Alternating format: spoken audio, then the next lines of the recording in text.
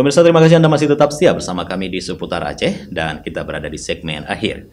Pemirsa Satuan Reserse Narkoba Polres Bener Meriah sejak Januari hingga Mei sudah melakukan pengungkapan penyalahgunaan narkotika sebanyak 30 kasus dengan jumlah tersangka sebanyak 35 orang tersangka. Bahkan yang terbaru salah satunya termasuk pejabat publik anggota Dewan.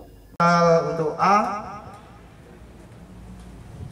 Kepolisian Resor Bener Meriah melalui Satuan Reserse Narkoba telah mengungkap sebanyak 30 kasus narkotika baik sabu-sabu dan ganja selama periode Januari hingga Mei dengan jumlah tersangka sebanyak 35 orang dengan barang bukti sabu sebanyak 48,62 gram dan ganja sebanyak 2.661 gram atau sekitar 2 kilo 600 gram lebih.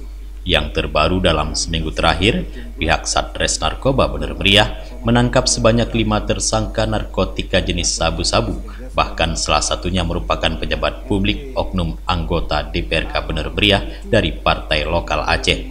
Kelima tersangka ini merupakan ditangkap oleh pihak kepolisian atas laporan warga di desa Tingkem Bersatu dan Babu Salam, Kecamatan Bukit. Kelima tersangka ini berinisial A warga Tingkem Bersatu, WA warga Kampung Babu Salam, ZH warga Kenawat Redelung, dan Y warga Balai Redelung yang merupakan pejabat publik oknum DPRK Bener Meriah dari partai lokal. Oknum Dewan ini ditangkap oleh Sat Narkoba Bener Meriah hasil pengembangan para tersangka lainnya.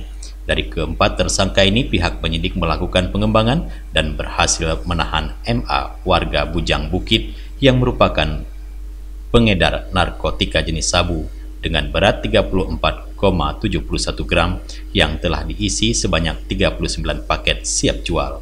Untuk mempertanggungjawabkan perbuatannya, kelima tersangka dijerat dengan Undang-Undang Penyalahgunaan Narkotika. Berhasil menangkap empat orang pelaku penyalahguna narkotika jenis sabu di wilayah Kecamatan Bukit, di mana melibatkan tiga warga dan salah satu pejabat publik ya di Gunung ya. Tempat warga tersebut ditangkap di dua tempat terpisah, yakni di Kampung Pingkem Bersatu dan Kampung Babu Salam, Kecamatan Bukit, Kabupaten Benar Meriah.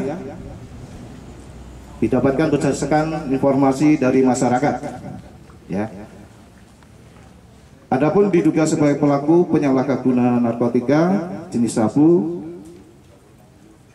diamankan oleh Sat Narkoba Waras Bener Meriah yaitu inisial A umur 31 tahun warga kampung Tingkem Bersatu inisial WE 37 tahun warga kampung Babu Salam. Yang ketiga Y umur 41 tahun warga kampung Balai Radelong yang merupakan anggota pejabat publik yang di Bendar Meriah dan ZH 55 warga kampung Kenawat Radelong.